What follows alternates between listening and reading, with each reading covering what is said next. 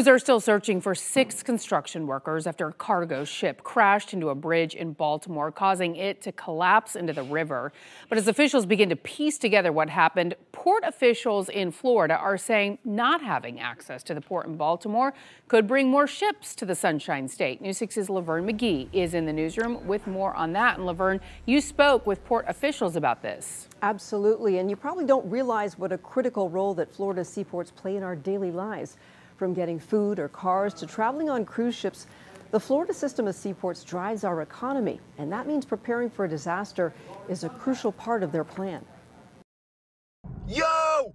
What? Oh my gosh! We're, we're ready for any instances that, uh, you know, a carrier or service provider that, that is not able to access uh, facilities in Baltimore might need something in Florida. The actual port director for uh, Port of Baltimore is a, a former uh, colleague. Uh, he was formerly at Port Everglades. Jonathan Daniels is, is quite the uh, quite the gentleman, and we've all reached out to him. President and CEO of Florida Ports Council Michael Rubin says it's unlikely, but if asked, they'll assist the Port of Baltimore after the catastrophic accident.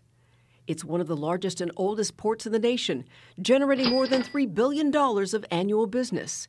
It's the busiest port for cars, trucks, and sugar. It is going to lead to a lot of complications for our supply chain. Florida has 16 public seaports, including Port Canaveral in Brevard County. In Florida, we are a system of seaports, and we, we try to work together. So if if one port in Florida is closed uh, due to uh, heavy weather issues, uh, you know, we, we we look at movement of cargo, especially fuel, uh, around the state. Um, you know, which is one of the reasons why Canaveral, in particular, uh, you know, has has a fuel terminal there now. Port Canaveral is the gateway to Central Florida. According to their website, 80% of the port's revenue is generated from the cruise business. Weather is the biggest threat. Unfortunately, have learned our lessons from numbers of, of hurricanes, and we we prepare and we've invested not only in capacity building for supply chain issues, but also for resiliency.